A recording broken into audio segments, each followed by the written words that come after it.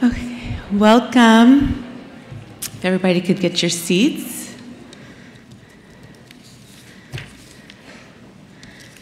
All right. How y'all doing? It's Tuesday morning in Montreal. It's supposed to be beautiful today. How many are going to stay for the full day and not like sneak out to go see some sights? Everyone, right? Yeah. All right. Well, welcome, beautiful family. I am honored to share the stage this morning with this amazing group of harm reductionists from around the world. And they're going to talk a little bit about the communities that are often overlooked in the broader harm reduction response. We'll hear about the work that they're doing to address needs and raise awareness and reduce stigma for people who use drugs.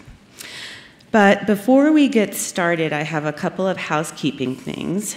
Um, so, Rick wanted me to remind everyone that tonight there is a social, it's free entry uh, for all of the delegates. It's at 5:30. It's competing with something I'm going to tell you about in a second. But it goes until 10, okay? It's on the first floor of the complex Sir, Wis- Sir Winston Churchill Pub. And uh, that's on Crescent Street and it's just about an eight minutes walk from here. There will be special cocktails and drink offers and great pub food. So, if you want more information, I imagine that they'll have it at the front desk so you can get the um, address. All right?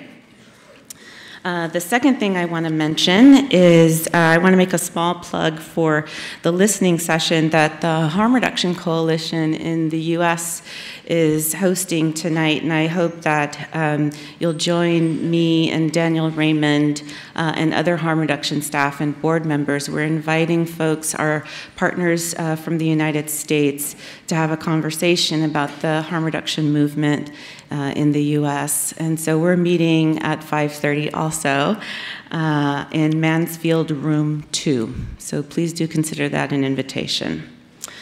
And lastly, uh, this morning's plenary is being live streamed, um, and you can find that. You might want to tweet that to your to your social networks, um, and uh, folks can find it on facebook.com slash drug reporter. And also remember to tweet hashtag HR17 to promote the conference. All right. So, um, joining me on the panel um, is Myra Gabriel from Brazil, Trevor Stratton from Canada, Yati Jonet from Malaysia, and Adam Bourne from Australia. After their presentations, we'll have a brief Q&A. And just as a reminder, some of the, I believe the presentations will be in English, but some of the answers, you can ask the question in English, but some of the answers may be, uh, the response may be in French. Um, so if you'd like to uh, for people who don't speak French like me, you may want to uh, get your headphones now. Um, and then lastly, for anyone who is leaving the conference today, please do remember to turn in your headphones before you leave. All right, so we're going to get started with Myra. Myra, after studying political uh, science, Myra Gabriel has worked in a community based organization in Favela Mare, Brazil since 2011. Her work is primarily focused on public safety, territorial development, and drug related issues. Um, since January of 2015, Myra coordinate, coordinated an action research project.